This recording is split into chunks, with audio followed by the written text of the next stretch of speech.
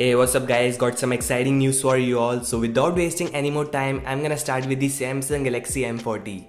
Okay so there's legit news from SamMobile.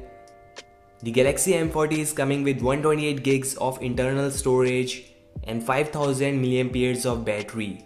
So that's exciting cause Samsung is no more compromising in terms of the battery size or storage.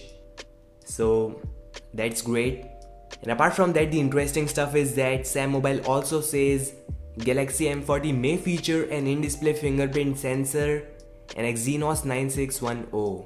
That's gonna be the first ever Samsung Galaxy M phone with in-display fingerprint sensor and Android 9.0 Pie that's Samsung's One UI. Okay, so what I think is Samsung is relaunching Galaxy A50 as Galaxy M40 for the online markets. Samsung has done this before also. Galaxy A10 is Galaxy M10 with somewhat lower battery size and glasstic panel, Galaxy M20, Galaxy A20 similar phone, same is the case with the A30 and M30, so that's likely happening and there is no information in terms of the designs so just don't get spun off with the rumors. There is no information if it is coming with the Infinity O display or Infinity U display. It is possible that Samsung may launch Infinity O with the M40 but it's not confirmed.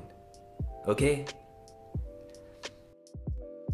Alright, so there's another exciting news for you all. Samsung Galaxy A60 global variant just got the Bluetooth certification. So here's the model number SMA60 6F slash DS which is coming with the Infinity O display. There's the Snapdragon 675 and I found this along with the Galaxy M40. So this is possible that Samsung is planning to launch Galaxy M40 and Galaxy A60 together. That's gonna be interesting. So stay tuned for more news. Thanks for watching. I'll meet you guys in the next one and peace out.